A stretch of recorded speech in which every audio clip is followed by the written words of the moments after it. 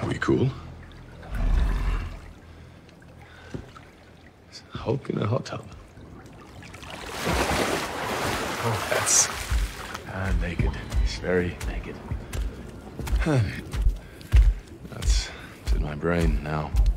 For today's video, we're gonna get some gameplay with the Krypton pistol, which is the pistol that we got from the Cyberpunk event and it's part of the Neon Weapon set. I believe some people were also able to get it from Birthday Llamas. And although we do have one, we don't have it fully maxed out. But yeah, the ones we're going to be using are ones that someone gave to me. And I believe somebody gave it to Cookies and then he gave it to me. So shout out to whoever gave it to Cookies for these two fully upgraded Krypton pistols. And the perks that they put on it were energy damage, damage magazine size, crit damage, damage to mist monsters and bosses, and getting 5 headshots in a row increases ranged weapon damage by 30% for 10 seconds. And at the very bottom, it says Pistol Neon shoots energized rounds at a rapid rate for high sustained damage deals energy damage which is fairly effective against all types of elemental enemies. And this is what the Krypton pistol looks like up close. Sort of looks like it has a light switch on the back of it.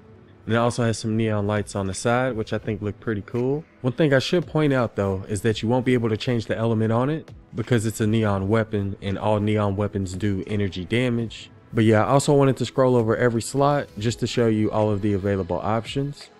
But yeah, these are the roles that we have on ours. But again, the one we're going to be using is this one that someone gave to us. And as for our loadout, we're going to be using Ranger Beetlejuice with Field Agent Rio in our support slot and Quick Draw Calamity in our tactical slot. And the mission we're going to be doing is this level 100 repair the shelter and we're also going to be doing it solo. And I guess we'll go ahead and test it out against this level 100 elemental smasher as well. Let me smash. Oh! Please. How to avoid smashers. That's that 200 IQ 4D chess move. oh man, that was amazing. I want to do it again. Oh, it actually took some of his health away too. But before we get into the gameplay, I did want to test it out against this level 100 smasher. And the first thing I should probably point out is that it has 17 rounds in the magazine with our current rolls and our current loadout. And you will have to tap the trigger every time in order to shoot. And it also uses energy ammo. But yeah, that's what it looks like against the level 100 Smasher. I guess I'll go ahead and show the fire rate as well. And I'm just going to tap the trigger as fast as I can. Here we go.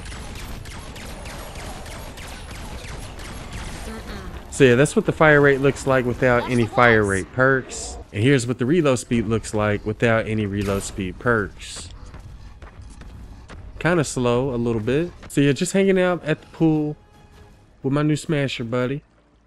Did you just fall asleep? Yeah, congratulations, you're big. Okay, I think we got a narcoleptic smasher. Yeah, I thought it'd be pretty cool to just, you know, hang out at the pool with my new smasher buddy. Anyways, let's go ahead and test it out against the level 100 elemental smasher. Here we go. And I think if we move a little bit closer, we could do a little bit more damage. But yeah, that's what it looks like against the level 100 Nature Smasher. Let's go ahead and kill a Blaster and a Taker while we're at it. They're airborne. First, we're going to start off with the Taker. Because I do not like Takers. There we go. Ow, so much ow. We were able to kill him pretty quick. Sorry. And let's go ahead and try the Blaster next. Fire rate's actually really good though. Even though you'll have to tap the trigger every time in order to shoot it. Hey. Oh my goodness. They can jump on the pads as well. Oh man. Holy crap. I didn't know they could jump on that as well. That is amazing. That was incredible. Get on here, man. It's fun. I promise it's fun, Smasher.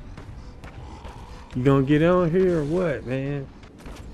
You gonna try it out? There you go, man. How to have fun with your Smasher. I told you it was fun, Smasher. Look, we having fun, y'all. Alright, well, I think that'll do it for the examples. Let's go ahead and get into the gameplay. Alright, well, I think we're ready. Let's go ahead and get started. And I think what I'm going to do is pull up the map This shelter has been damaged pretty every time we find a module and show its location. Alright, so here are three of the locations. I need to go ahead and hurry up and There's pick an one of them incoming up. wave detected. We have some time before they arrive. You can search for missing parts now or reinforce the shelter. Here's another location. There's a couple more located really close to the shelter. And now we found the last two. So I'm gonna go ahead and pull up the map again. You can see they're all relatively close to the shelter. And we did have the map fully explored before we started. So yeah, that's usually the approach I use when it comes to finding the modules. I just try to look in the areas near and around the shelter and then work my way out. And most of the time they're located near the shelter. Defend the shelter. Alright, so the first thing I should mention is that a patch did come out earlier today. And I'll leave a link to the patch notes in the description. We didn't really get anything new in regards to features. They just mentioned that the Ghost Pistol will be available in the store tomorrow after it refreshes. And they're also going to be selling 8-Bit Demo, who's like the best explosive hero and saved the world. I'll also leave a link to some 8-Bit Demo gameplay in the description.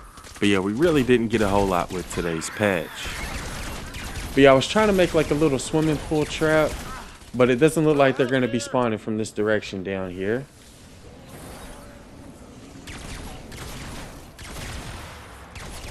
And I think one of our defenders is down. We'll get him here in a second. Uh,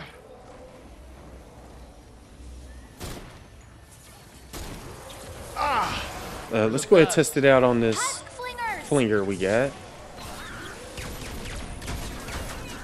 A few things I don't like about it is that you can't change the element on it.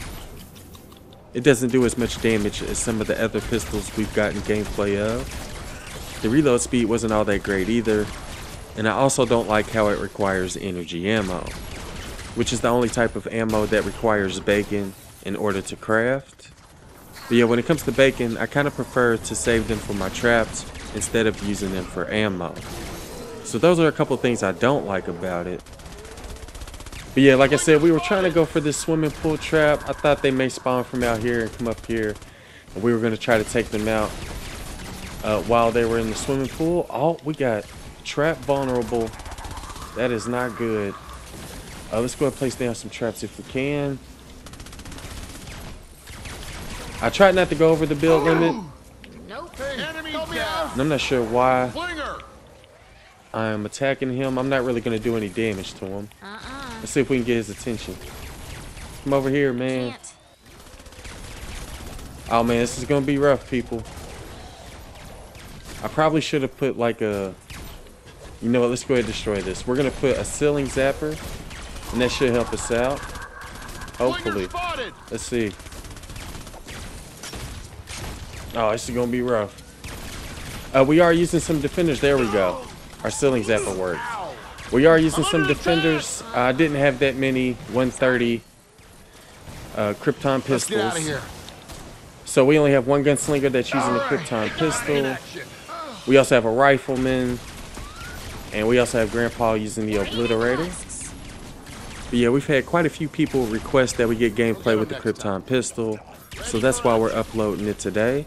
Obviously, we'll get gameplay with the Ghost pistol as soon as it becomes available. But after we get gameplay with that, let me know in the comments which weapons you all would like to see gameplay of next. But yeah, let's go ahead and finish taking out these flingers real quick. Like I said, it does do pretty decent damage. But again, the main things I don't like about it are that it uses energy ammo, which requires bacon to craft. I also don't like that you have to tap the trigger every time to shoot. And the reload speed seems like it's pretty mediocre as well. Compared to some of the other pistols that I've tried, it's not really one of the best pistols in my opinion. But it does look pretty cool. The fire rate's pretty good, and it does do pretty decent damage. Oh, swing and a miss. But yeah, now that we've tried out the Krypton pistol, I think I will end up leveling mine up to level 130. I'm not sure if I'll make all the perks legendary or not. Because I don't think it's going to be a pistol that I'm going to use that often. This shelter is now ready for action.